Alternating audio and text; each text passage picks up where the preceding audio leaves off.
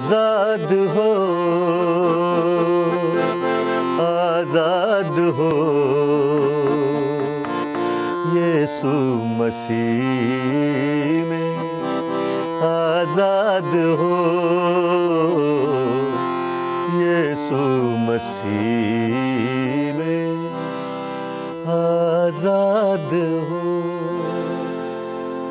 जी हाँ दोस्तों आज़ादी के 60 साल पूरे होने की आप सबको बहुत बहुत बधाई। मैं भी बहुत खुश हूँ कि मैं आज़ाद हो गया हूँ, मेरा देश आज़ाद है और मुझे यकीन है कि आप भी बहुत खुश होंगे कि इंडिया आज़ाद है। लेकिन क्या ये देश की आज़ादी हमारी रूहानी आज़ादी बन सकती है? क्या ये देश की आज़ादी हमको परिपूर्णता दे सकती है, संपूर्णता दे सकती है? क्या ये गारंटी हो सकती है हमारे सुख की, हमारे आनंद की, खुशियों की और हमारी मुक्ति की। के सहारे तुम्हें घटना बनाया ताकि तुम अपना नाम हमारे नाम के साथ जोड़ सको।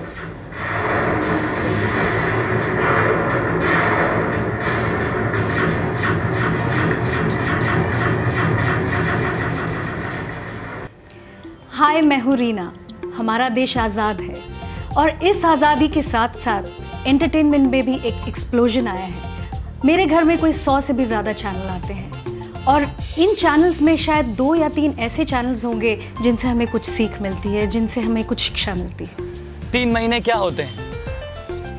तीन महीने में एक घर नहीं बनता एक सीरियल नहीं बनता एक फ़िल्म नहीं बनती। यहाँ तक कि तीन महीने में एक सड़क नहीं बनती। हाय मैं हूँ श्रेया और मैं एक स्टूडेंट हूँ।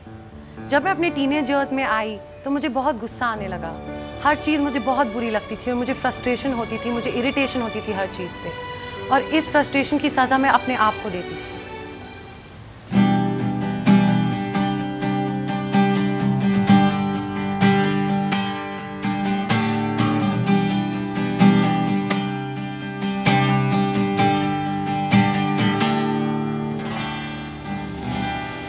हेलो मैं हूँ आरजे मैं एक म्यूजिशियन हूँ। हाय मैं अंजू हूँ। मैं एक मॉडल हूँ। बिल्कुल आपकी तरह एक साधारण व्यक्ति हूँ।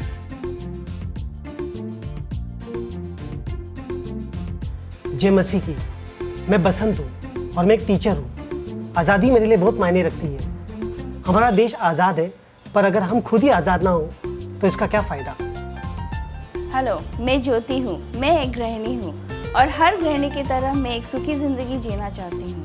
मोस्टली ऐसे टीवी प्रोग्राम्स जैसे सास बहू के सीरियल फिल्म्स अश्लील म्यूज़िक वीडियोस और ऐसे प्रोग्राम्स जो बच्चों के लिए बहुत डिस्ट्रक्टिव होते हैं। फिल्मी ज़िंदगी के बारे में जितनी बात की जाए उतनी कम है। यहाँ पर ग्लैमर नशा चकाचौंध और इससे जुड़ी सभी बुराइयाँ हैं। मैं हमेशा उदास परेशान बोझ से दबा दुविधाओं में रहता था। सोचता था कि क्या कभी मुझे सच्ची खुशी मिलेगी? क्या मुझे आज़ादी मिलेगी? नहीं मिलेगी। ऐसा मुझे लगता था। इस गुस्से का असर मेरी ज़िंदगी पे पड़ने लगा। मेरी पढ़ाई पे मेरे रिलेशनशिप्स पे मेरे पेरेंट्स के साथ मेरे फ्रेंड्स के साथ मेरी हेल्थ पे भी पड़ने लगा। और तब मैंने अपने आप से पूछा क्या यही टीनेज लाइफ होती है? क्या ऐसे ही ग्रो करते हैं हम? होगा कि नहीं होगा? मिलेगा कि नहीं मिलेगा? ऐसा होगा कि वैसा होगा? शायद जो डर आप सबके जीवन में है उससे कहीं ज़्यादा मेरे अंदर था।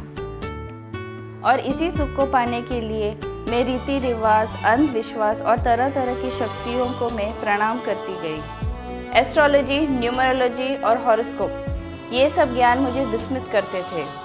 यंत्र, मंत्र, तंत्र में मुझे लगता था कि ये ही शक्ति के स्तोत्र हैं।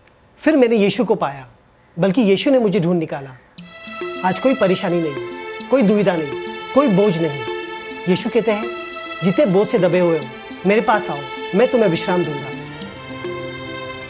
To me, there's nothing better in life than playing music. God's given me a gift, and I desire to use that to the best of my ability to give that back to Him. As a musician, there are many trials and tribulations that I face. There is uh, the temptation of drugs, women, everything else. True independence is being able to play my music to the best of my ability to give back to God what He first gave to me. परमेश्वर का धन्यवाद कि मैं आज आज़ाद हूँ मैं सितारों पर नहीं पर सितारे बनाने वाले परमेश्वर को मैं प्रणाम करती हूँ। लेकिन पिछले तीन ही महीनों में मेरा जीवन बदल गया। सिर्फ़ तीन मिनट की प्रार्थना और मैं आज़ाद हो गया। सच्ची आज़ादी ऐशो आराम में नहीं सच्ची आज़ादी जीसस को जानने में। मेरे साथ ऐसा हुआ है आपके साथ भी ऐसा होगा। नहीं हम टीनेजर्स ऐसे नहीं ग्रो करते। यू नो मैंने अपनी सारी एंकर सारी इरिटेशन सारी फ्रस्ट्रेशन और सारी परेशानियाँ यीशु मसीह को दे दी। अब मैं अपने आप को सज़ा नहीं देती। जानते हो क्यों? क्योंकि यीशु मसीह ने मेरी हर सज़ा को क्रॉस पर ले लिया। आज मैं खुश हूँ, आज़ाद हूँ और यीशु से बेहद प्यार करती हूँ। तलाश थी आज़ादी की। आप जानते हैं, एक दिन मैं प्रभु यीशु मसीह के घर गई और वहाँ मेरा हर डर टूट के गिर गया और हर शक धुल गया। मुझे प्रार्थना करना आ गया।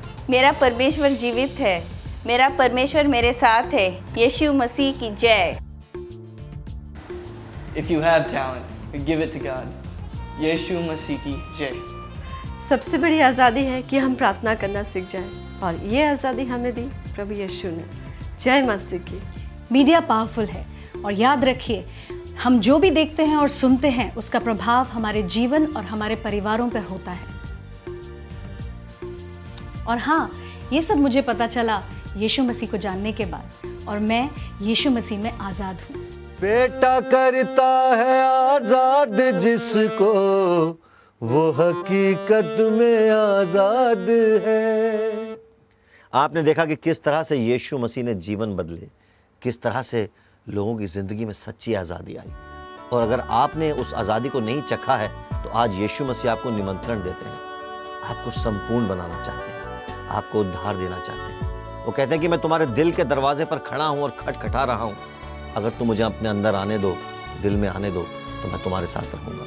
और आज मैं आप सबको प्रोत्साहित करना चाहता हूँ कि यीशु को पालें, आज़ादी पालें, सच्ची आज़ादी पालें। जय मसीह की।